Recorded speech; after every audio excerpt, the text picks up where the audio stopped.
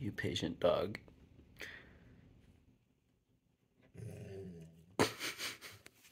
hey, be nice. Be nice. Good boy.